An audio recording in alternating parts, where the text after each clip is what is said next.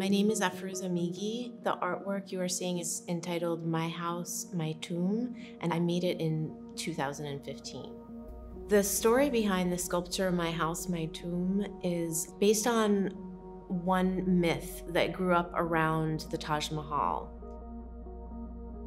One of the myths was that the Emperor Shah Jahan wanted to create an identical version of the Taj Mahal across from the Taj Mahal for himself, where he would be buried across from the tomb of his favorite wife. The only difference is that this second Taj Mahal would be built out of black marble as opposed to white marble.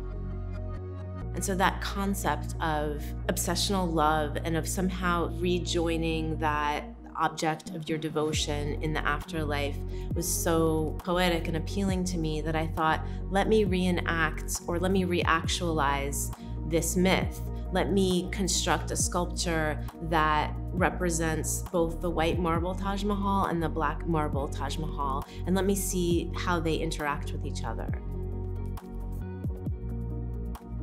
Growing up in the United States, so far away from where I was born in Iran, yet being so mesmerized by the architecture there, there is also that distance. There's also that inability for me to grasp that landscape that I was born into.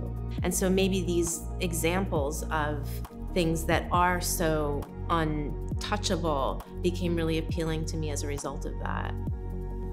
In my work, I've used that beauty in the same way to lure the audience as it lured me as a child, which is to make these shimmery sculptures that are reminiscent of jewelry and chandeliers. But if you look carefully at the forms, they look sometimes like rockets or missiles or some of the killing devices that are manufactured in the United States.